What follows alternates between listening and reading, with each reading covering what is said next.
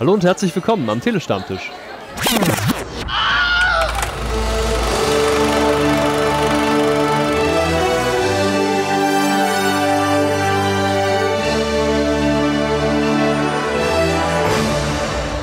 Hallo und herzlich willkommen zum Telestammtisch. Heute haben wir uns zusammengetroffen, um eine neue Serie zu besprechen, die heute gestartet ist. Und zwar rede ich über die Serie Wonder Vision. Wer wir sind, das bin erstmal ich, natürlich, der Sam. Der Esel nennt sich mal als erstes. Dann ist der Patrick hier an meiner Seite. Servus Patrick. Hi. Und als Gastsprecher haben wir heute Stu. Servus Stu. Hallo zusammen. Genau. Und wie gesagt, wir haben die Wonder Vision uns jetzt angetan oder angeschaut und besprechen heute so die ersten zwei Folgen. Sollen wir direkt loslegen oder habt ihr noch irgendwelche Movie-Trivia über Wonder Vision, wo ihr loswerden wollt? Der Titel Wonder Vision besteht aus den beiden Namen der Hauptdarsteller, also Hauptprotagonisten. Und wieder was gelernt. Genau. Und es heißt also, nicht Wonder und Vision, sondern Wonder Vision. Also das ist auch schon mal ein Wortwitz, dass es vielleicht eine Vision von Wonder sein könnte. Genau, da, da triffst du eigentlich schon fast. Wenn man die Bücher natürlich gelesen hat oder die Comics, da gibt es ja eins, das House of, wie hieß das? House of M, genau.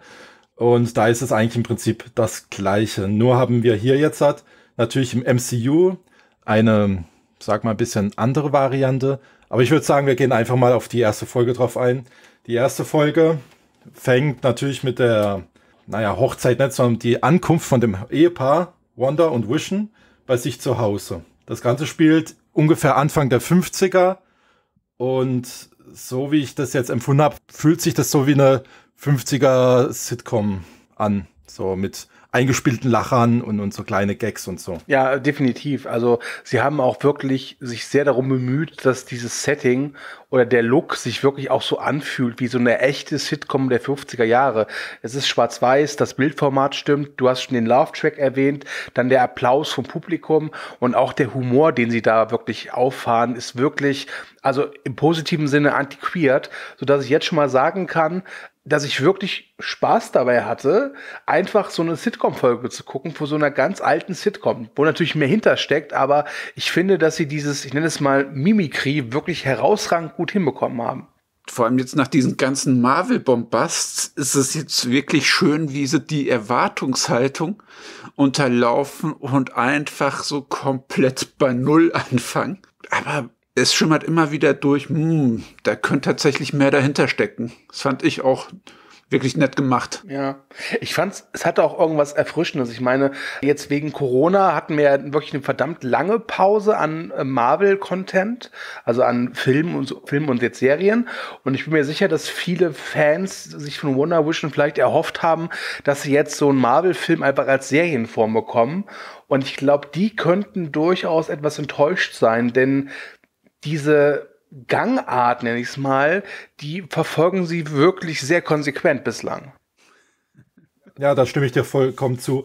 Ich finde halt, die, die Machart von der Serie erinnert halt stark an bezaubernde Genie und, und da gab es noch Verliebte eine. Lucy gibt es dann noch, hätten wir noch anzubieten und noch so ein paar andere. Eine Hexe. Eine Hexe. Genau. genau. So, und daran erinnert die Serie halt sehr stark. Und ich finde auch, gerade dieser, dieser Umbruch, wie du schon gemeint hattest, finde ich eigentlich gar nicht verkehrt in dem Sinne, weil wir hatten ja vorhin schon angesprochen, dieser Name Wonder Vision deutet ja schon was hin und gerade, dass es dann an der de Anfang der 50er beginnt, die Serie, macht das Ganze, äh, mir fehlt das Wort, äh, hilft mir mal weiter. Was, wie könnte man das sagen? Es ist so... Nostalgisch? Mh, hm, ja, es ist wie eine Erinnerung, so, das könnte man fast so sagen. Es ist wie eine Erinnerung die sie so gern hätte. Ja. Und da, da Erinnerungen ja immer in der Vergangenheit spielen, macht es dann auch wieder Sinn, dass es in den 50er zum Beispiel anfängt. Und vor allem diese Sitcoms von damals, die haben ja auch so ein ganz klassisches Weltbild propagiert. Ne? Also sie ist die liebende Hausfrau, er geht zur Arbeit, schafft die Kohle ran, sie lieben sich, sie sind zufrieden, sie sind glücklich. Das ist ja im Prinzip das, was sich Wanda für sich und ihren Vision ja immer gewünscht hat. Und wir wissen ja leider, wie das Schicksal von Vision dann leider endet in, äh, in Infinity War. War es, ne? Mhm. Ja. Genau. Ja, genau. Vor allem das Lustige ist jetzt, dass Wanda auf einmal ihren russischen Akzent weg hat. Passenderweise zu dem Setting, da wären die Bösewichte ja durchgehend oder oft russisch besetzt worden.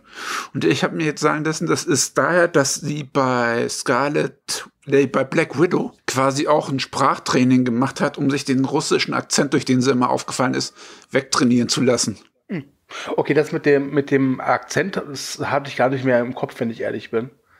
Aber es wäre schon seltsam gewesen, weil Sitcom hin oder her, wenn du in den USA der 1950er Jahre als Russin äh, unterwegs warst, das war bestimmt nicht einfach. Überhaupt nicht. Ja, gerade Anfang der 50er, da gebe ich dir recht. Was mir halt noch aufgefallen ist, dass durch, durch bestimmte Szenen so ein leichtes Krieseln oder so, so leichte Bildaussätze, ist das euch auch aufgefallen? Ja, das oder? war bewusst. Es war so ein kleiner Blur-Effekt, da ist immer wieder die Realität angekratzt worden. Das war bewusst gemacht. Und was mir halt auch noch aufgefallen ist, dass das dann immer in den Momenten war, wo irgendein Satz gefallen ist, wo schon mal in einem alten Film oder, oder in vorangegangene Situation aufgetreten ist oder in dem ähnlichen, ich sag mal, Effekt oder, oder Setting passiert ist. Und dann hat so leichte, das sieht, das sieht man ihr aber auch im Gesicht an, ne? Mhm. Wie zum Beispiel, wo an dem Abendessen, ich glaube, ich greife jetzt schon wieder viel zu weit vor. Ja, aber wobei, da, da muss, ich die, muss ich dich mal äh, unterstützen. Es passiert nicht so viel tatsächlich in der ersten Folge, wenn man mal ganz ehrlich ist. Es ist halt wirklich die weitestgehend einfach so eine typische Sitcom-Handlung. Also wir sehen halt Vision in äh, menschlicher Gestalt, wie er halt da seinen Job, ich glaube als Buchhalter ist das halt durch seine Fähigkeiten einfach perfekt abschließt, schon irgendwie zehn Minuten nachdem die Arbeit erst begonnen hat. Und dann natürlich versucht, seinen Chef zu beeindrucken, um halt befördert zu werden. Und dann gibt's halt diese klassische Storyline, ja, lad den Chef doch mal nach Hause ein, ja, zum Abendessen. Und das passiert dann auch. Und das das entspinnt halt so Irrungen und Wirrungen, als der Chef dann mit seiner Frau ankommt. Übrigens, die Frau wird gespielt von Deborah Jo Rupp. Die kennen Sitcom-Fans als Kitty aus die wilden 70er. Mhm, und genau beim Essen gibt es halt, wie gesagt, einige Probleme. Da lernen wir auch die Nachbarin kennen, äh, gespielt von Catherine Hahn. Das scheint eine Figur zu sein, die durchaus noch wichtig wird. Zumindest hat Disney relativ prominent mit Catherine Hahn auch beworben, dass sie zum Cast gehört. Und während des Essens gibt es halt diesen Moment, wo der Chef sich verschluckt.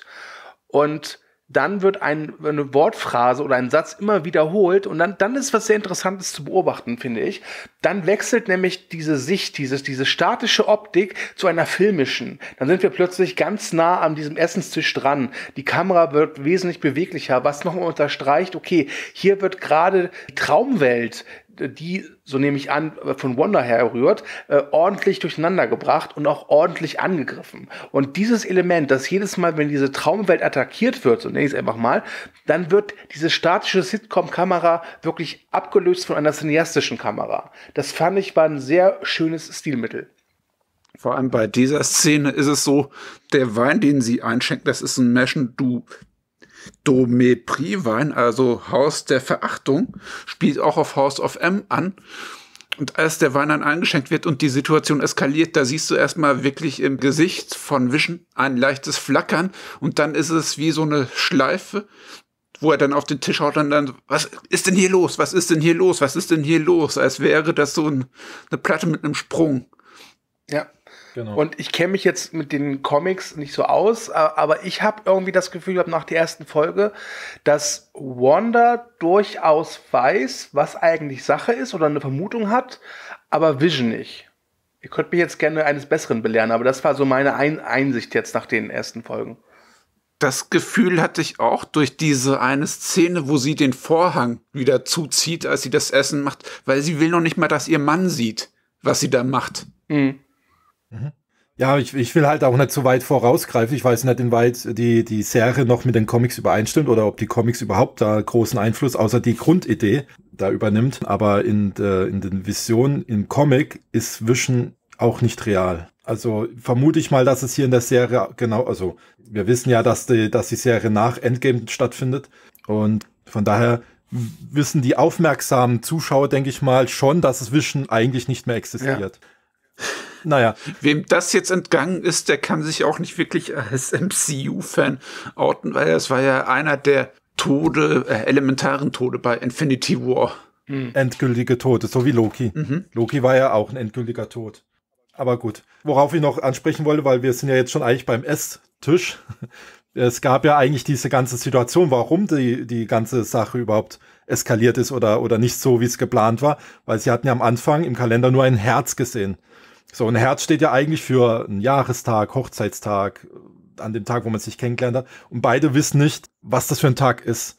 Wo ja, wie das so genau drauf hindeutet, eigentlich, sie sind ja eigentlich gar nicht verheiratet im echten Leben. Und sie sind zwar ein Pärchen gewesen in der realen Welt oder im Film, und da eben nicht. Es ist ja auch diese Situation mit diesem Ehering. Wenn man frisch geheiratet hat, hat man doch einen Ehering am Finger. Da weist ja die Nachbarin auch einmal drauf hin, so richtig schön. Und dadurch ergibt sich ja diese Verwechslung. Die Wanda geht davon aus, es ist ein Jahrestag, bereitet dementsprechend romantisches Essen mit romantischer Kleidung und uns so vor. Und er erfährt in der, im Büro, dass dieses Herz, äh, Herz, jetzt habe ich schon, verdammt, dass dieses Herz für Hart steht und Hart ist der Chef von seiner Firma und der kommt zum Essen. So, und da entsteht ja dieser, dieser Disput, dieser, diese Ver die Verwechslung. So ja. und sagen. sie kommen dann auch ziemlich ins Rudern, als sie dann halt eben von dem Chef und seiner Frau gefragt werden, ja, wann habt ihr denn geheiratet? Wie war es denn so? Und dann werden sie halt eben auch damit konfrontiert, dass es dann doch nicht so einfach ist, in dieser, in dieser Welt einfach so zu existieren. Es gibt halt auch dort gewisse Regeln und Sachen, die Leute wissen möchten. Und da fangen sie, glaube ich, erst so richtig an, sich diese Scheinidentität aufzubauen nach und nach. Es wird auch auf einmal nach Kindern gefragt und gerade bei einem Androiden. Hm, wie soll der denn Kinder kriegen? Beziehungsweise wie soll ein Android eine Hexe schwängern? Noch absurder. das, das, ist richtig. Naja, es ist äh, immer noch das Marvel-Universum. Ich glaube, alles ist möglich. Naja, ich denke, ab Phase 4 wird sowieso der, der Bereich, was möglich ist, eh noch größer, weil da kommt ja dieses Multiverse zusammen, also noch dazu. Das wissen wir jetzt schon aus dem Titel von Doctor Strange 2, dass das jetzt ins Multiverse geht. Und Spider-Man hat es ja auch schon so angedeutet im letzten Spider-Man-Film. MCU Mastermind Kevin Feige hat ja auch schon bekannt gegeben, dass Wonder Vision wohl durchaus wichtig sein soll, wenn man irgendwann später dann Doctor Strange 2 guckt. Mhm. Richtig. Ja, also, da, wo ja auch Wonder vorkommen wird. Ja. In irgendeiner Weise. Wahrscheinlich wird ihr da der Weg für ihre Rolle dann da geebnet. Gut, äh, was ich jetzt noch ansprechen wollte, ist diese Werbung, wo dazwischen reingekommen ist, wie du es ja vorhin schon gesagt hast, mit dem Toaster von der Firma Stark. Ich dachte erst in dem Moment, wo das kam, hä, warum machen die jetzt eine Werbung mitten ins Geschehen rein? Das, hat das, sollte das jetzt irgendwie so die, das Format, wie man es damals geguckt hat? Ja, das, da kam, ja. weiß ich, zehn Minuten Film oder Serie, dann kam Werbung, dann kam wieder zehn Minuten. Oder wollten die auf irgendwas hinweisen? Ich Und glaube, beides ist richtig. Ja. Ich denke, dass das wie, dass das echt zusammenhängt, weil man sieht die Werbung über einen Toaster. Der Toaster ist von Dark Industries. Stark Industries, genau. Und dieser schrote Punkt in der Mitte von dem Toaster, der erinnerte mich stark an den, wie heißt er von Iron Man dort, das in der Mitte? Dieses Teil, was er sich eingesetzt hat. Dieses künstliche Herz. Das künstliche Herz. Dieser Reaktor. Daran erinnerte, und es hat mich sehr stark daran erinnert. Und man sieht ja in der Werbung, dass es immer schnell anfängt, wie kurz vor, vom Herzstillstand, sage ich mal so, dit, dit, dit, und dann ist es aus und dann kommt die zwei Toaster raus. Und da dachte ich schon, das soll irgendwie ein Hinweis sein, dass sie äh, irgendwie gerade im Kopf, Iron Man ist tot. Ah, das, ich mein? das nicht. Da kommen zwei Toasts raus und in der zweiten Folge erfahren wir was von zwei anderen Neuigkeiten. Ich denke, da war das schon mal so eine unbewusste Verarbeitung. Im Traum verarbeitest du ja auch wirklich Informationen, mit denen du nicht viel anfangen konntest oder die dir irgendwie noch hängen geblieben sind. Und sie erinnert sich okay. dann eben an Tony Stark und an Strucker später zurück und an solche Sachen und da verarbeitet sie dann solche Informationen noch. Also ich finde, ja, ich finde beide eu eure Interpretationen machen total Sinn und sind gut und äh, die werde ich jetzt auch, äh, glaube ich, beibehalten. Ich für meinen Teil, der halt eben die ganzen Marvel-Filme gesehen hat, aber jetzt nicht so tief in der Materie drin ist, für den war das eigentlich einfach nur ein echt netter Gag, weil auch diese Werbung haben sie wirklich wunderbar hinbekommen, dieses dieses Imitat der damaligen Fernsehzeit einfach. Also ich will ehrlich sein, gerade die erste Folge hat für mich wirklich zu 80 Prozent am besten dann funktioniert halt, wenn ich mich einfach dem hingegeben habe, diesem, dieser Imitation der damaligen Fernsehära. Ja. Auch war das im ersten Teil, wo man schon so ein farbiges Objekt gesehen hat, nee, oder war das erst im, im zweiten? Im zweiten erst, okay. Mhm. Sorry, da habe ich vorgegriffen. Die Grenzen sind da eben auch ein bisschen verschwimmend. Ja. Du kannst die beiden ersten Folgen, du wird wahrscheinlich sagen, sogar die ersten drei Folgen quasi als überlangen Pilotfilm zu dem Ganzen sehen, der die Situation erläutert und dann kann man da nach und nach immer mehr Facetten aufbrechen. Ja, ich glaube, es könnte wirklich interessant sein, wenn die äh, Serie dann nach neun Folgen mit der ersten Staffel oder komplett abgeschlossen ist, sich dann noch mal die Folgen eins, zwei und drei anzugucken. Ich bin mir sicher, dann erkennt man noch ganz, ganz viele andere Sachen und weiß dann auch genau, ach, deswegen haben die das gemacht. Da wollten die also hin. Wie fandet ihr denn die Gags, die sie eingespielt haben in der ersten Folge? Weil da ist mir tatsächlich auch so ein, eine Überschneidung zu den Filmen aufgefallen. Gerade in den ersten Gag, ich, ich rede gerade mal einfach weiter. Ja, mach. gerade in dem ersten Gag, wo, wo sie in der Küche stehen und sie spült ja die Teller ab. Wisst ihr, welches ich meine? Ja, ne? Ganz am Anfang, genau. Mhm. Und äh, Vision kommt ja reingelaufen und knallt erstmal voll mit dem Schädel gegen den Kopf. Da dachte ich schon, okay, das ist wahrscheinlich ein Hinweis, dass ihm der Kopf zerquetscht worden ist bei, End, äh, bei Endgame? Nee, Infinity War. Infinity War, der knallt mit dem Schädel gegen den Teller, nicht gegen den Kopf. Ja, oh, so, natürlich. und, ja. und sie macht den Teller ja wieder äh, ganz. Richtig. Da könnte man also darauf hindeuten, dass Vision vielleicht tot ist, aber sie am Ende der Serie vielleicht den echten Vision wieder ganz macht, also wieder lebendig machen kann. Das sind alles so Hinweise, richtig. Aber schon, schon der erste Gag fand ich hatte, hatte schon so viel Hinweise, weil sie sagt auch noch, ähm, mein Mann, der unzerstörbar oder mit dem unzerstörbaren Kopf. Und er sagt dann meine Frau, die, was war der genaue Wortlaut? Meine Frau, die, ach, ich weiß es nicht. Aber es war jedenfalls so eine schöne Anspielung auf die Filme, fand ich. Aber das ist zum Beispiel total interessant, weil da merke ich halt, dass ich da einfach nicht so in der Materie drin bin, weil für mich war das einfach so ein richtig klassischer Sitcom-Witz, halt ein bisschen halt aufpoliert halt mit den Möglichkeiten, den diese beiden Figuren haben, denn Wanda und Vision sind natürlich keine normalen Menschen. Wer es noch nicht äh, gewusst hat, die, hier ist die Erkenntnis. Ähm, ich fand das einfach als Witz, also das ist natürlich total antiquiert und auch sehr verstaubt. Also der ganze Humor hat, hat ordentlich Staub, aber das muss er ja auch, weil sie ja wirklich versuchen, die damalige Zeit dieser Sitcoms einzufangen. Und ich fand, das war gerade vom Humor her hatte das einen unglaublichen Charme. Mit das Beste, was ich da greife ich jetzt schon mal vor, es gibt im späteren, weiß, ich glaube ich in der zweiten Folge, gibt es einen Moment, wo die beiden halt auf so einem Dorffest eine Zaubershow aufführen. Das war mit das eines der lustigsten Sachen, die ich in einer Serie seit langem gesehen habe. Vor allem, es gibt dann ja noch diesen Gag, als er rausgeht und dann sagt sie, Schatz, hast du nicht was vergessen? Und dann setzt sie ihm wieder sein menschliches Gesicht auf, weil er davor mit seinem normalen Vision-Gesicht rumgelaufen ist. Ja. Auch mit so einem Genie-Fingerschnipsen.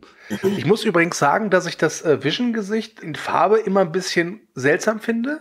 Das sieht immer, weiß nicht, also ich, ich wurde damit nie warm, aber in Schwarz-Weiß gefällt er mir ganz gut. Mhm.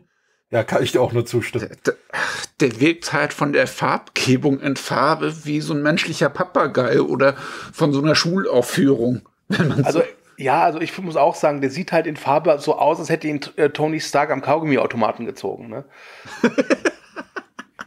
ist richtig. Naja, ich meinte jetzt nur mit, mit, dem Teller, man hätte ihn ja auch überall anders da kaputt gehen lassen, weißt du, auf der Schulter oder er rennt mit der Brust oder tritt drauf oder so irgendwas, aber dass es gerade der Kopf ist, das fand ich, ich halt. Ich gehe stark davon aus, dass die das auch wirklich beabsichtigt haben. Die wissen halt mhm. schon, dass ihr, dass die Fans, sage ich mal, da auf solche Kleinigkeiten achten. Und das ist ja absolut okay. Also das Schöne ist halt, dass ich finde, es funktioniert halt auf zwei Ebenen. Das eine ist halt eben dieses, dieses Interpretative, ja, wenn man sich halt in diesem MCU auch wirklich auskennt und sich da auch, sage ich mal, blind bewegen kann und halt eben in der Sicht eines Trottels wie mir, der einfach denkt so, hat die Telekom gemacht. ich bin auch mal gespannt, die Frau von Paul Bettany ist ja auch Jennifer Connelly und die spricht die künstliche Intelligenz von Peter Parkers Anzug. Also die beiden Eheleute sprechen jeweils eine künstliche Intelligenz. Das finde ich auch lustig, ob er der nicht vielleicht auch noch ein Cameo, einen stimmlichen verschafft hat.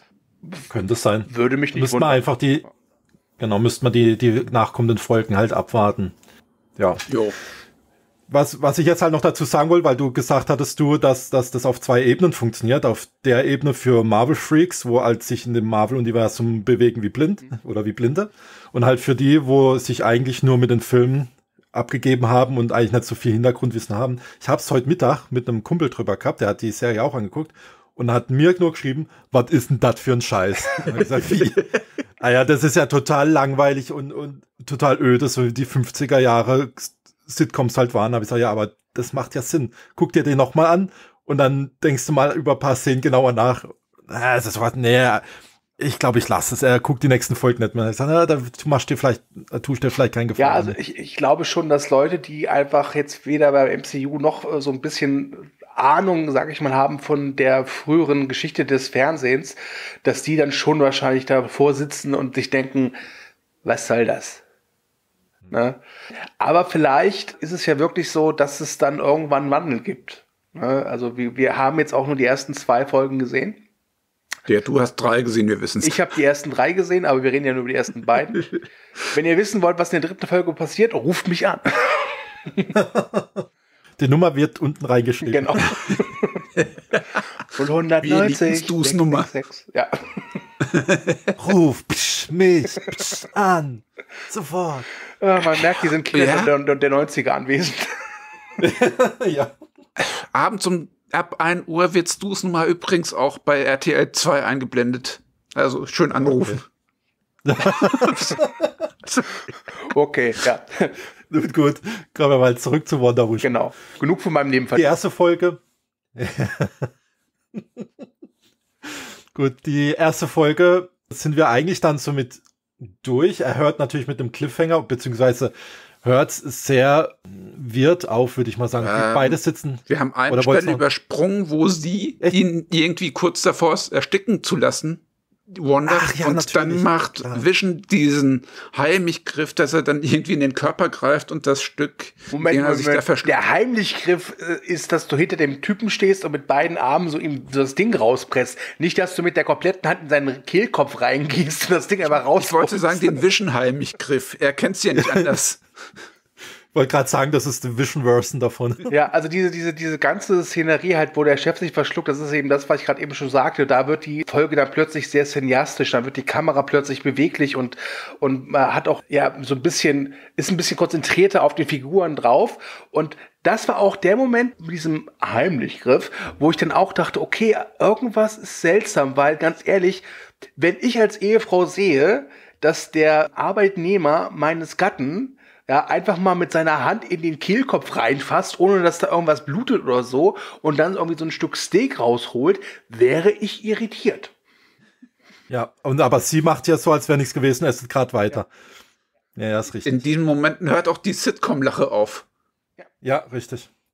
In der Situation findet man, äh, finde ich aber, sieht man auch genau, dass es eigentlich alles nur in ihrem Kopf vorgeht, weil warum reagiert Vision nicht von selber? Er hätte ja aufspringen können und, äh, und den, er wartet, bis sie sagt, Vision, hilf ihm. Hm. Wisst ihr, was ich meine? Ja. Und das zeigt, und das zeigt mir so ein bisschen, ah, da, das ist alles in, in ihrer Hand. Es bewegt sich, aber das sieht man ja auch in, in den weiteren Folgen dann. Und die Folge endet ja quasi dann damit, dass dann alles ist gut, Chef und seine Gattin verlassen und er sagt dann noch irgendwie Vision, ja, übrigens, ey, Beförderung ist so gut wie sicher, mein Freund.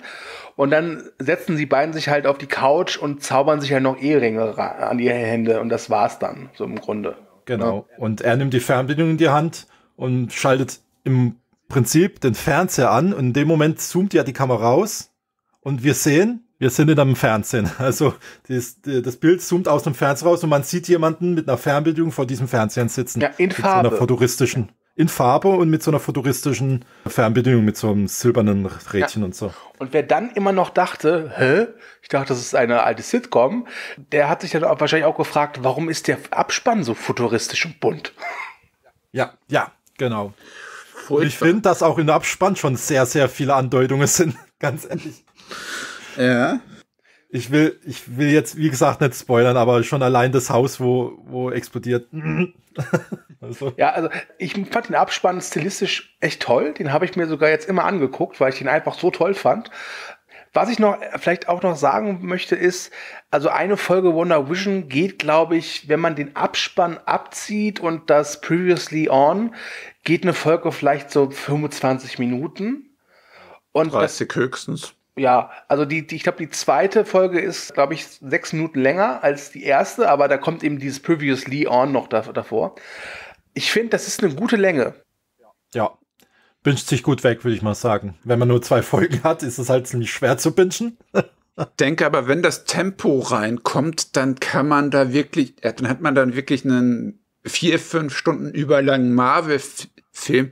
Und ich denke, spätestens dann werden die Marvel-Fans, die Hardcore-Fans, die jetzt, jetzt noch nicht raffen, irgendwie ansatzweise befriedigt oder sagen, ach mein Gott, was ist denn das für ein experimenteller Scheiß? An alle MCU-Fans da draußen, keine Sorge, der Patrick hält euch nicht für blöd. Nein. er mag euch nur nicht. ich bin ja selber so ein Marvel-Fan. Sorry. Ja. Wenn ihr übrigens Patricks Privatadresse haben wollt, ruft mich an. Und das am besten 2 Uhr morgens beim Stu. Ja. Das wäre es mir wert. Oh. so, ich Gut, also so endet die erste Folge. Und jetzt springen wir. Oder habt ihr noch was zur ersten Folge zu sagen? Habe ich da irgendwas vergessen? Äh, nö. Also mir fällt jetzt spontan gesagt, nichts ein. Also. In der ersten Folge war jetzt auch noch nicht so viel erwähnenswertes. Also es, es hielt sich in Grenzen. Dafür, dass 25 Minuten ging, war da schon gut Information drin, aber es war auch noch leicht gesättigt, sage ich mal. Leichte Kost. Leichte Kost, ja. Genau, dann springen wir hier jetzt in die zweite Folge. Die zweite Folge fängt an in einem Comic-Stil. Nee, erstmal das Previous On, ne? Erstmal hat man einen kleinen Rück äh, Rückblick, was in der ersten Folge passiert ist. Und dann springt das Ganze in Comic-Figuren um und hat so einen kleinen Comic-Figuren-Intro. Ja, das, das, äh, das hat, das sollte auch erwähnt werden. Die haben halt wirklich für jede dieser Sitcoms einen eigenen extra Vorspann mit einer extra Titelmelodie gemacht. Und auch da muss ich sagen, Chapeau, weil auch die 60er Jahre Sitcom haben sie wirklich perfekt getroffen in allen Bereichen. Ja. Und dieser, dieser Comic-Intro von der zweiten Folge hat mich wieder stark erinnert an Bezaubernde Genie. Da, da sogar noch Intro. mehr. Weil da, da dieser animierte Stil, das war echt wie so ein klassisches, äh, klassisches Sitcom-Intro. Ja, passt auf, am, am, nach der neunten Folge wissen wir dann plötzlich, okay, das hatte keine tiefere Bedeutung alles, was wir gesehen haben. Marvel hat einfach nur ein Remake gemacht von Bezaubernder Genie. Bezaubernder Vision. Punkt. Ja, ja. Das kann gut sein, ja. Ja. Und hier übt Vision zusammen mit Wanda dann direkt erstmal am Anfang einen Zaubertrick, der später noch eine größere Bedeutung in der Folge spielen wird. Wo ich mich gefragt habe, wozu braucht denn das bitte irgendwie doppelte Türen oder so oder so, so, so eine Schiebetür oder Drehtür? Ihr seid zwei der stärksten Wesen auf dem Planeten. das ist richtig. Wanda ist sogar eins der stärksten Wesen im MCU, beziehungsweise auch im Marvel-Universum. Oh, okay. Es ist neben. Ich dachte, das ist Pepper Potts. Ah, okay. das, ist, das ist die schärfste, ne? ah, egal. So, genau, man sieht am Anfang, wie sie diesen Zaubertrick einüben, weil es steht nämlich eine, eine Festig, eine Gala zur Gewinnung für die Kinder vom Ort. Ich also wie genau. Ja, so eine Art Dorffest halt einfach so ein Nachbarschaftsfest. Dorffest, Nachbarschaftsfest. Das ist ja. Und die sammeln für für die Kinder. Das heißt ja mehrmals in der Folge für die Kinder. Ja. Denkt ihr niemand an die Kinder? Doch Wonder Vision. Wobei das ja auch wieder eine Anspielung ist auf das, was später passiert in der Serie. Aber wir greifen wieder vor. Genau. Genau. Und für diese Vorbereitungen, für diese Festlichkeit treffen sie sich mit den mit den Männern beziehungsweise mit den Frauen von der Nachbarschaft. Also die Wanda trifft sich mit den Frauen in so einem Kreis, wo da eine sehr beherrschende Frau da ist, die alles unter ihre Fittich hat. Also man darf ja nicht falsch sitzen, ohne dass es heißt, okay, du bist raus aus dem Kreis. Du hast nur eine Stelle übersprungen, wo sie dann rausgeht und sie findet im Garten ein Spielzeughelikopter, der Ach, die Farben hat stimmt. von mhm. Tony Starks Anzug. Ja, ja, genau. Und der auch eben farblich auch gezeigt wird. Ne? Also die Farbe des Helikopters ist äh, vorhanden, was so mich erinnert hat an Pleasantville. Richtig. Ja, richtig. Oder auch an die Stimmt. Farbtupfer in Sin City, wenn da mal welche kamen. Ja, wobei Sin City ist von der, von der Schwarz-Weiß-Optik noch um einiges stilisierter und monochromer. Ne? Aber wie du schon gesagt, stimmt, das kommt natürlich davor. Ich dachte jetzt, ich hätte, das wäre danach gekommen, aber nee, hast recht, das kam ja vor dieser Sitzung. Und sie läuft aus dem Haus raus und findet in ihrem Rosenstock oder Rosenhecke dieses Flugzeug. Genau. Und dann geht's aber dann zu diesen Treffen. Genau, mit der Nachbarin, die verdammt oft zu sehen ist. Ich glaube auch, dass die eine größere Rolle spielen wird. Namentlich ist sie sogar eigentlich die Patentante von Reed Richards Kindern, also von Sue und Reed Richards Ja. in den Comics. Also könnte man da an, entweder wird sie irgendwie noch Antagonist werden oder sie könnte vielleicht die Nanny werden für die später kommenden Kinder. Irgendwas in der Richtung. Ist natürlich offen, was da noch passieren könnte, richtig. Ich habe auch ganz Zeit gedacht gehabt, dass es so eine ähnliche Funktion hat wie bei der Truman Show, dass es eine Person ist, die auf sie aufpassen muss irgendwie. Ich habe es auf jeden Fall auch in der ersten Folge, da gab es so eine Stelle, da hat sie, da hat äh, Vision mit Wanda telefoniert und im Hintergrund war sie und hat Wanda irgendwie dazu gebracht, so bestimmte Sachen zu sagen. Und da, Mhm. dadurch hat sie auch sich erstmal in ihre Dessous oder was auch immer geschmissen und wollte erstmal Vision verführen. Mhm. Hat dann aber den Mr. Hart dabei erwischt, weil die Bude halt dunkel war. Ich denke, sie will Wanda vielleicht in irgendeine Richtung manipulieren. Ja, das ist ja das, was ich meine, dass die so eine Funktion hat wie bei Truman Show, war ja auch der ein oder andere Schauspieler drin, der den Truman immer hat irgendwie in eine Richtung lenken wollen.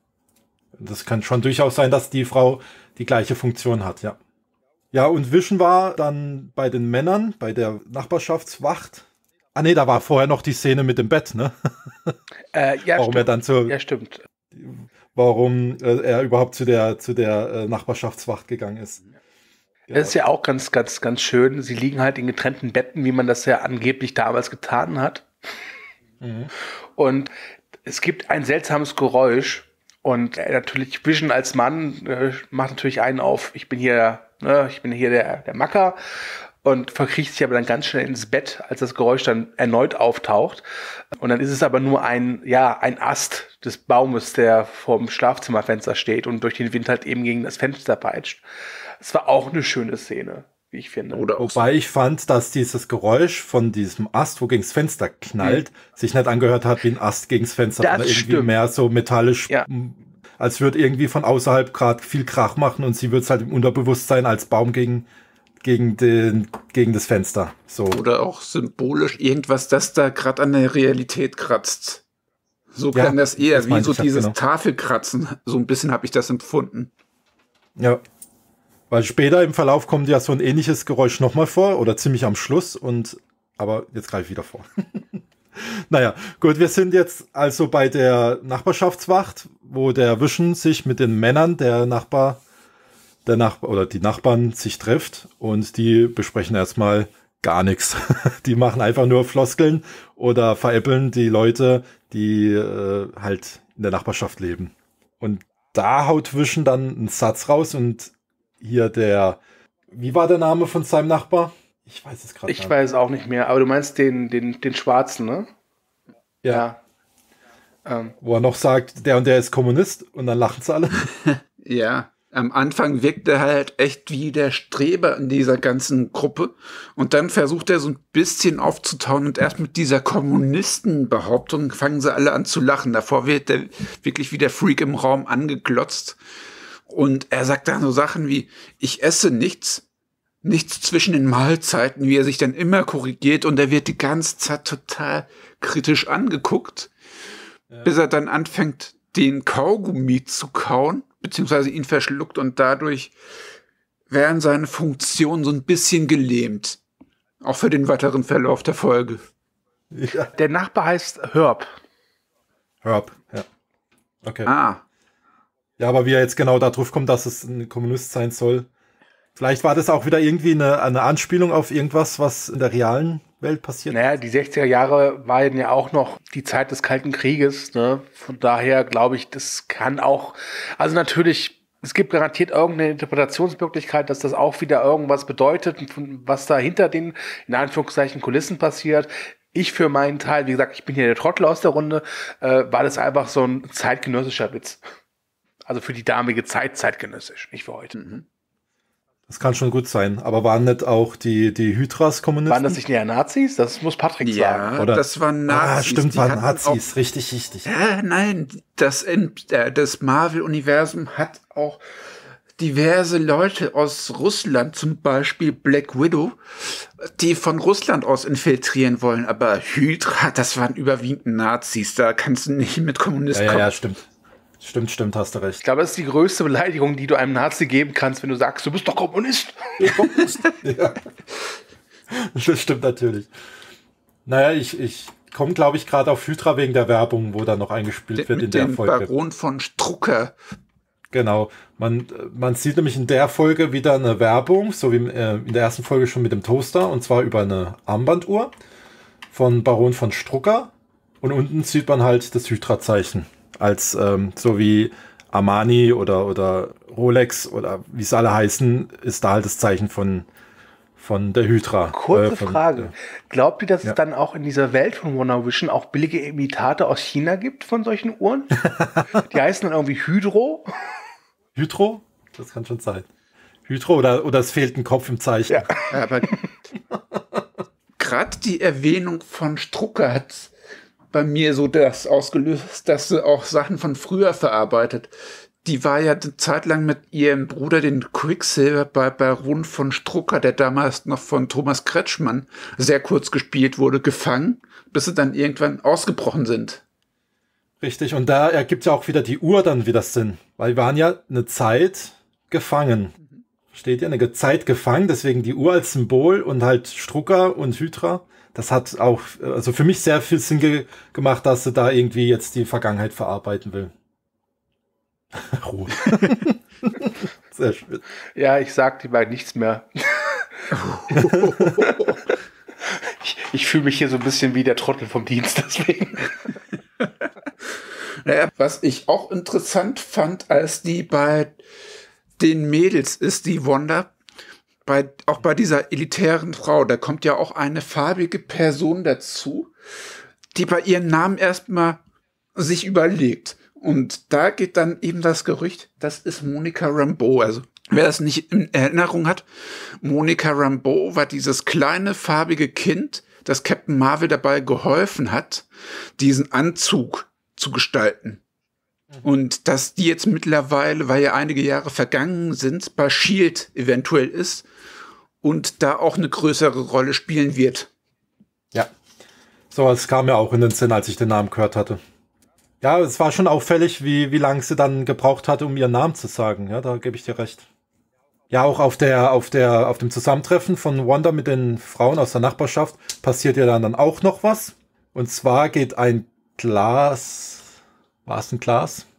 Ähm, Es war ein Glas, geht ja zu Bruch. Hier überschneiden sich sogar zwei Szenen, als Vision den Kaugummi verschluckt. Da spricht er auf einmal durch diesen Wecker die Realität, wird wieder zerkratzt und diese Frau, die zerbricht da, äh, bei der platzt dann aus Versehen das Glas in der Hand und die fängt an rot zu bluten, weil auch sie auf einmal merkt, irgendwas stimmt da nicht. Richtig. Genau. Und, und gerade das, dass in dieser Szene dann das Blut wieder rot ist und an der Hand sich ja geschnitten hat, das ist auch wieder so. Ah, das sind so Andeutungen, wo man ganz genau weiß, eigentlich, das hat alles mit der Vergangenheit aus den alten Filmen zu tun. War es nicht so in den alten Filmen, dass sich hier, wer war das, wo es sich geschnitten hatte? War das nicht sogar ihr Bruder, wo sich an der Hand geschnitten hatte? Quicksilver? Kann gut sein. Ich glaube, es war Quicksilver, der sich in, der, in die Hand geschnitten hatte. Ja, aber wenn, ist es ja in Age of Ultron passiert. Das ist ja erwiesenermaßen der langweiligste Avengers-Film. Von daher ist es okay, dass Neben Iron Man hat. 2. Genau. Dann kamen wir, kamen wir dann schon zu der, zu dem Fest oder war da noch was? Ich will's hoffen, denn das Fest war für mich das Highlight der ersten beiden Folgen. Ich, ich überlege gerade, war noch was vor dem Fest? Was Ja, sie näht sich halt die Wunde selber. Also Wanda will ihr helfen und dann sagt sie, eine Frau muss das alles selber machen. Quasi wie es damals so üblich war, dass die Frauen quasi alles gemacht haben und die Männer haben sich dann biersaufend ins Eck gesetzt, wie sie es da auch quasi in der Folge machen und haben den Frauen die ganze Arbeit überlassen. Also die ganze Organisation. Ja, richtig. Aber ich, na, ich glaube, da war dann nichts mehr. Dann kamen wir dann zu dem Fest, richtig? Mhm. Ja. Genau. Und in dem Fest Das war ja, das kann am besten das du, der freut sich ja schon ganz Zeit auf das Fest. Also Wanda und Vision haben ja, wie wir wissen, so eine Art Zaubernummer vorbereitet. Und es kommt dann einfach dazu, dass sie diese vorführen. Das Problem ist aber, dass Vision, mit dem stimmt irgendwas nicht. Der agiert, als wäre er betrunken. Und da muss ich wirklich großes Lob aussprechen für Paul Bettany, der das hervorragend macht, einfach hinreißend. Ich habe mir Mega. diese Szene wirklich zweimal angeguckt, weil ich sie so amüsant fand, wie er da ja trunkend, also wirkt es zumindest, halt agiert und es gab wirklich einige sehr, sehr, sehr schöne und amüsante Szenen. Wobei, das sollte man auch natürlich erwähnen, er dann sehr offensiv und sehr offenkundig mit seinen Fähigkeiten umgeht, was den Anwesenden mhm. Meistens egal ist oder sie kriegen es irgendwie nicht wirklich mit, was natürlich nochmal unterstreicht, irgendwas stimmt hier nicht wie er dann auch torkelt und das Bein so hinter sich herzieht und ja, das, ja, er hat das richtig klasse gespielt und auch, wo er dann gegen den Pfosten stößt und dann, sorry ladies. Ja. Also ja, entweder, cool. also entweder kann Paul Bettany wirklich hervorragend betrunken spielen oder er hat sich vom Dreh wirklich einen angepichert. Wäre beides eine gute Leistung gewesen. Also in, im Fall hätte er sich betrunken, dass er dann noch so gut agiert und ja. Ja, beim, im Falle von Charlie Sheen wissen wir ja auch, dass bei manchen Leuten das Betrunkensein völlig egal ist. Die spielen so, wie sie spielen. Uh, sind ja, ja, keine Kinder vor Ort, deswegen wird es da nicht aufgefallen sein, die ja. Fahne. Also, also was zum Beispiel großartig ist, ist diese eine, dieser eine Moment, wenn er diesen ähm, Herb dann irgendwie, hier zieh eine Karte, dann tut er sie zurück ins Deck und dann ist das deine Karte. Und dann, nein, ist das deine. Also, das ist natürlich ein Gag, der sehr alt ist und den haben wir auch schon tausendmal gesehen, aber der lebt einfach von der Mimik und Gestik von, von, von Paul Bettany herausragend, Richtig. wirklich. Wo er dann selber kurz mal nicht peilt, hm? Was? Ja. Das ist sie. Ja, was war, was ist was? Das ist meine Karte. Ach so, ja, ja. Ach so. Egal. ja, ja, ist richtig. Er spielt da richtig und, gut. Ähm, gebe ich dir. Äh, geb ich ich habe ja gerade eben gesagt, dass die Zuschauer gar nicht so richtig registrieren, dass der irgendwie gerade mit seinen Superkräften und zugange ist. Das ist so nicht ganz richtig. Wanda tut ja alles dafür, dass wenn er irgendwann mal wieder seine Kräfte zeigt, dass es dann, dass sie dann so eine Erklärung darbietet. Ne? Zum Beispiel, wie konnte der jetzt das machen? Und dann zeigt, ja, ja, hier ein Spiegeltrick. Wo man sich dann auch, und dann sagt, glaube ich, einer der Anwesenden, äh, funktionieren so eigentlich Spiegel? Ne? Ja, richtig. Oder auch wie Vision das Klavier anhebt und ja. dann macht sie daraus auf einmal eine Pappkulisse und der eine sagt, ey Mann, das war mal ein Klavier. Ja. richtig, genau. Ja, auch wo er, wo er anfängt zu schweben, ne? Mhm. Man sieht ja an, anhand der, an der Reaktion von den Leuten, äh, was ist denn jetzt los? Und dann braucht es ja schon eine Weile, bis sie das Seil hin, hin zaubert. Und in dem Moment, wo das Seil dann da ist, die Leute so, ah ja, Wobei da ja schon eine Zeit vergangen ist und man eigentlich hätte sehen können, dass da gar kein Seil ist. Also von daher ist diese Reaktion von den Leuten ist schon sehr seltsam. Ja, halt genau wie dieser Spiegeltrick. Ich meine, solche Tricks können mit Spiegeln funktionieren, nicht aber, wenn die Spiegel die ganze Zeit hinter Vorhängen sind. Ne? Hinter Vorhängen ja. sind, ja, genau. Vor allem ist es gut, dass er ein Android ist, so wie der gehangen hat. Das hat für manche Genickbruch bedeutet. Ja. das war. Auch später mit dem, mit dem Schrank, wenn sie ihre eigentliche Zauber, ihren eigentlichen Zaubertrick vorführen, mit diesem, mit diesem Schuh, äh, nicht Schuhschrank, Quatsch, mit diesem Schrank, Schuhschrank. wo sie ja, Schuhschrank wäre ein bisschen klein. Du reduzierst sie schon sehr drauf, dass er eine Frau ist. ja, was ist das erste, was man an eine Frau, äh, was man als erstes denkt, wenn man an eine Frau denkt? Schuhe. Nein. Ich distanziere ja, der, mich der, von dieser Äußerung meines Kollegen deutlich. Wie hieß er nochmal? El Bandi? naja, jedenfalls funktioniert der Trick ja nicht. Und dann verlangt das Publikum ja nach jemanden im Schrank. Wer ist in diesem Schrank? Wer ist in diesem Schrank? Und da zaubern sie dann auf einmal diese schwarzhäutige Dame. Monica Rambeau nennen wir sie einfach jetzt genau. so. Richtig, die zaubern sie ja dann in diesen Schrank. Und sie selber weiß auch gar nicht, wie bin ich jetzt hierher gekommen. Aber es ist ja auch relativ egal. Die, die verbeugt sich dann, also die reagieren alle dafür, dass da einer den Mann in den Kehlkopf greift, dass da ein Typ ja. einen Hut durch sich steckt. Reagieren sie relativ seltsam da drauf. Daran merkst du auch, dass das nicht wirklich real sein kann. Richtig. Jedenfalls denken die zwei, also Wanda und Vision dann, dass sie es total verbockt haben und jetzt in der Nachbarschaft hier die Buhmänner sind und wollen abhauen und schleichen sich davon. So, und dann werden sie aufgehalten von dieser Dame, die sich selbst genäht hat. Ich habe den Namen leider nicht parat. Werden sie ja dann aufgehalten und so, stopp! Und dann denken sie schon, hier, jetzt kriegen sie eins auf den Deckel. Und dann kriegen sie gesagt, dass es der witzigste Auftritt war, den sie seit langem hier gesehen hatten. Und gewinnen dann das ganze Ding noch, ne? Für die Kinder. Für die Kinder. Ja, den Pokal für die Kinder. Da freuen sie sich jetzt drüber. Genau. Und jetzt kommen wir nämlich auf den Punkt, warum die ganze Folge eigentlich immer dieses für die Kinder im Hintergrund war, weil man hört ja in, den, in der Folge ziemlich oft für die Kinder. Weil sie sind ja am Schluss dann wieder bei sich im Haus, hinter der Couch stehen sie, umarmen sich und dann sieht man das Bild wieder im Breit, also im, im Weiten und man sieht, dass sie einen Babybauch hat. Genau. So. Wie funktioniert das so schnell?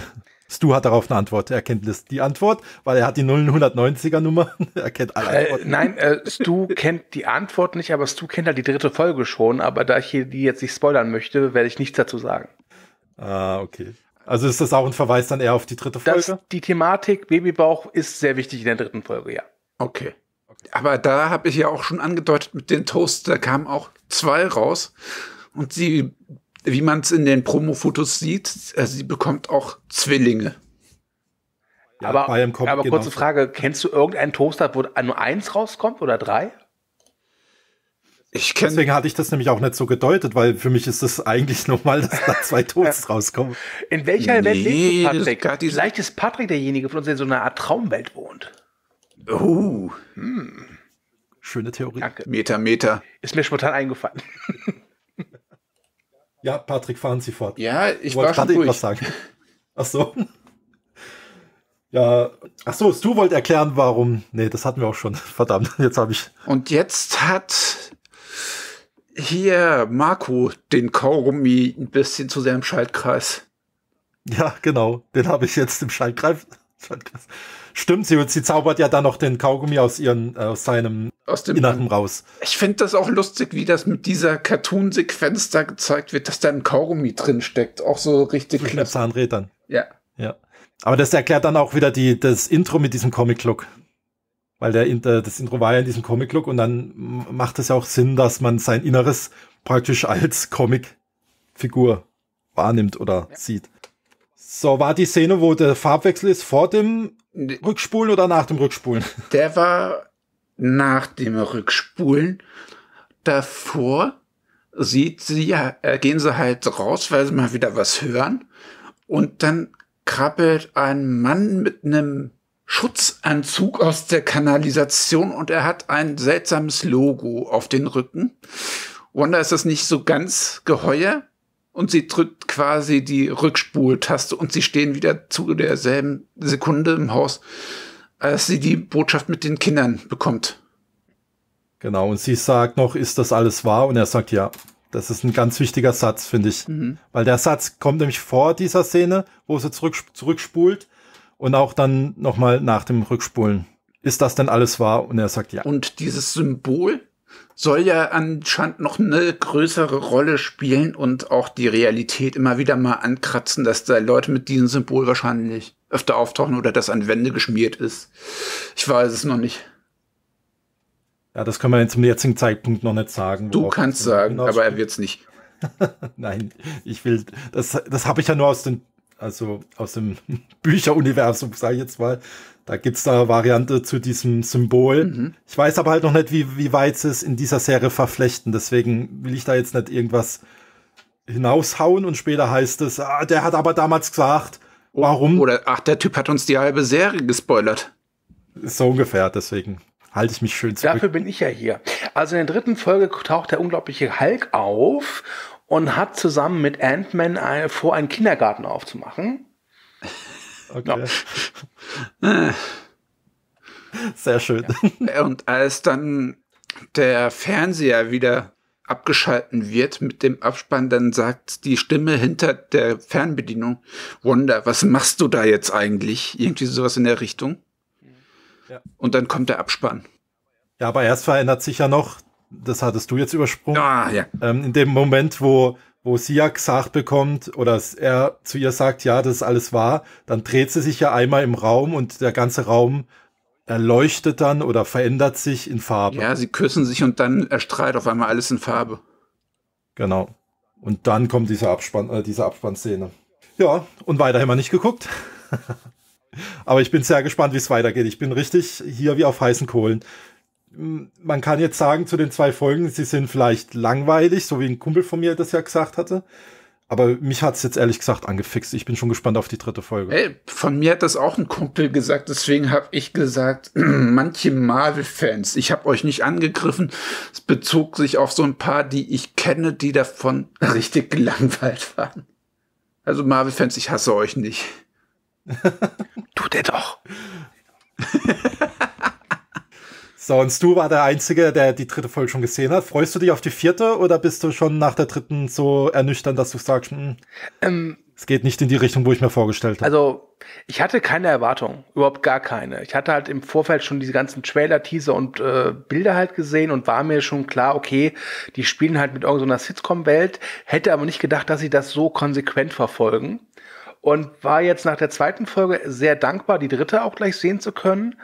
Und so viel kann ich sagen, ich finde, dass die ersten drei Folgen, oder anders gesagt, die dritte Folge endet so, dass bei mir die Vermutung halt wächst, dass die ersten drei Folgen eine Art Prolog sind. Ob das das wirklich so ist, weiß ich nicht. Aber ich war wirklich sehr angetan von den ersten zwei Folgen und auch von den ersten drei Folgen. Es muss sich natürlich zeigen, wenn sie dieses Sitcom-Konzept Sitcom weiterverfolgen, ob das dann nicht irgendwann ein bisschen, ja, langweilig wird mit der Zeit. Aber die Serie hat ja nur neun Folgen, 25 Minuten. Und ich bin mir sehr sicher, dass in den späteren Folgen wahrscheinlich diese Sitcom-Welt auch mal verlassen wird. Von daher sehe ich positiv optimistisch in die Zukunft, was diese Serie betrifft. Okay. Weil wenn man, wenn man das so sieht, ja, jede Dekade hatte ja im Prinzip seine eigene mhm. Sitcom-Formel. Ja. Wenn, wenn ich mich an die 90er zurückerinnere mit äh, Will Smith, hier Fresh, äh, Fresh Prince von Bel Air und so. Und jetzt hatten wir am Anfang die 50er typische Sitcoms. Da bin ich schon gespannt, wie es jetzt weiterläuft. Ja, also das kann ich verraten. In der dritten Folge sind es halt die 70er. Uh, die wilden 70er. ja.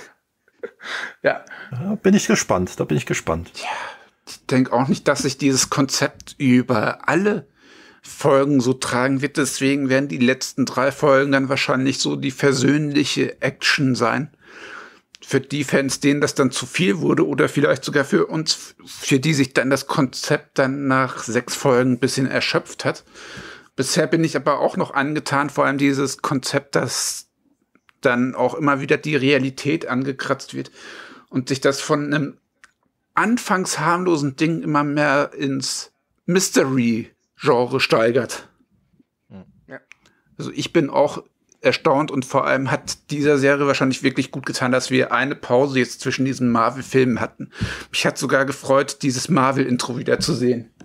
Ja, das ist richtig. Da muss ich dazu auch sagen, ich, ich habe ja auch wirklich jeden Marvel-Film im Kino gesehen und irgendwann, ich gucke die Filme unheimlich gern, so ist es nicht.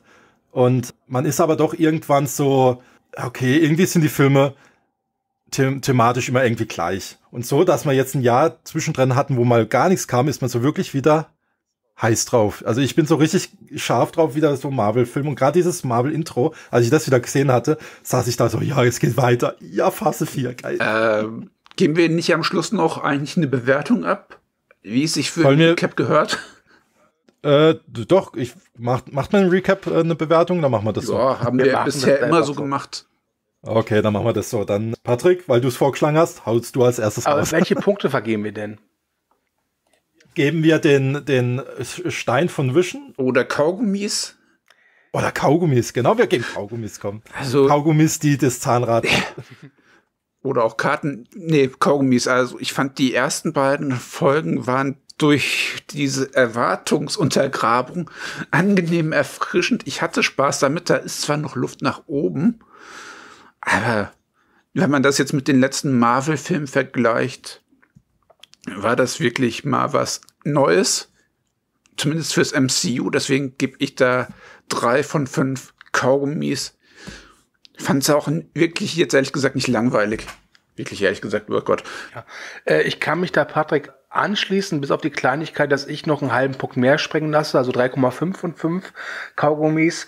Bin, wie gesagt, sehr gespannt, was da jetzt auch uns zukommt. Es kann nach hinten losgehen, aber ich habe irgendwie das Gefühl, dass vielleicht Wonder Vision mich wirklich auch insgesamt positiv überrascht, wenn es dann mit der neunten Folge dann in ein paar Wochen aufhört. Okay. Und ich habe hier 80 Pfennig. Ich gerne den Kaugummiautomat.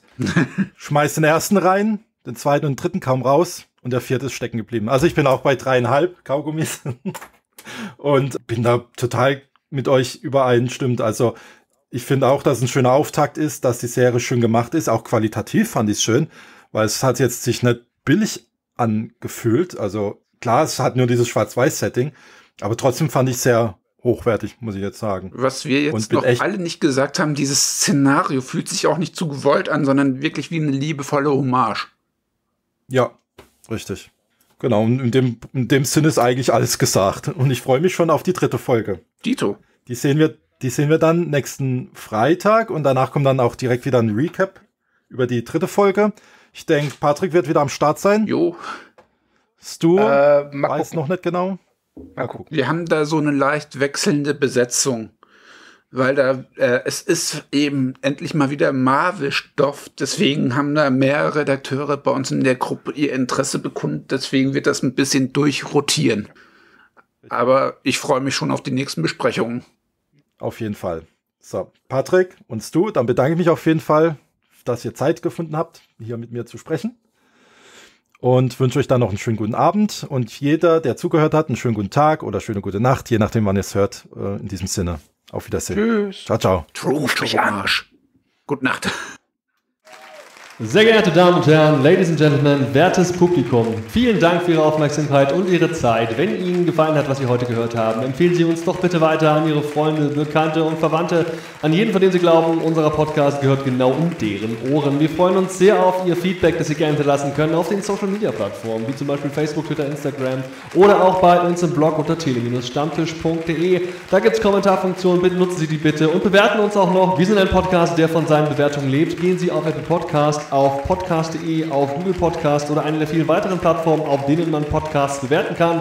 Und bewerten Sie uns, das wäre total toll. Wir danken Ihnen vielmals. Und wenn Sie noch ein bisschen Geld übrig haben, dann nutzen Sie doch die Gelegenheit, uns via PayPal eine kleine Spende zukommen zu lassen oder die Amazon Affiliate Links zu nutzen, die Sie in den Show Notes finden. Vielen Dank und bis zum nächsten Mal. Ciao.